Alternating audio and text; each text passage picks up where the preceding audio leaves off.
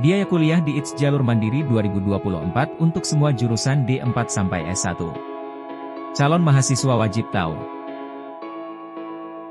Institut Teknologi 10 November, ITS, Surabaya telah membuka penerimaan mahasiswa baru Jalur Mandiri 2024. Tahun ini, ITS membuka tiga jalur mandiri yang bisa dicoba para calon mahasiswa.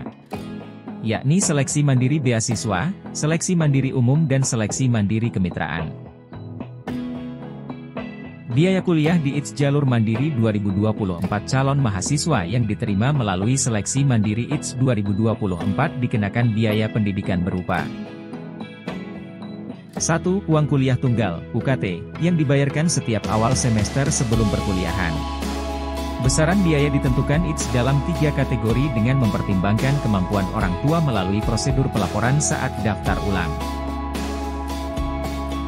2. Iuran pengembangan institusi, IP, yang terdiri dari IP awal, yang dibayarkan pada saat daftar ulang.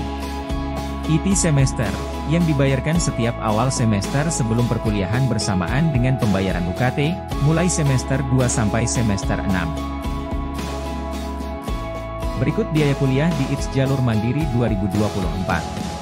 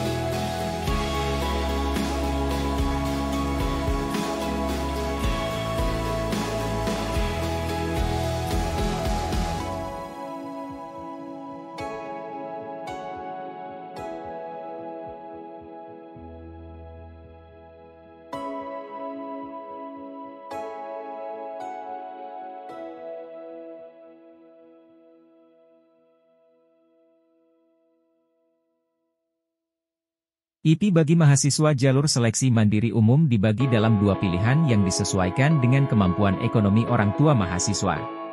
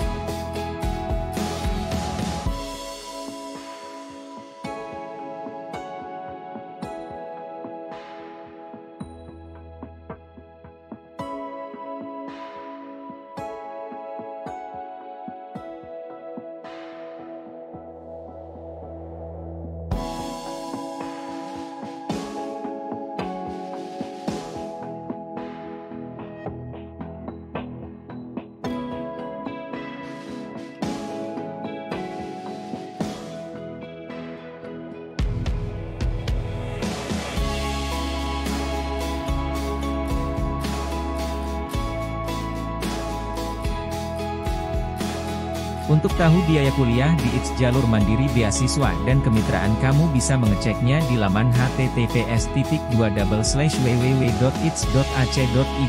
admission mandiri beasiswa pagar biaya pendidikan.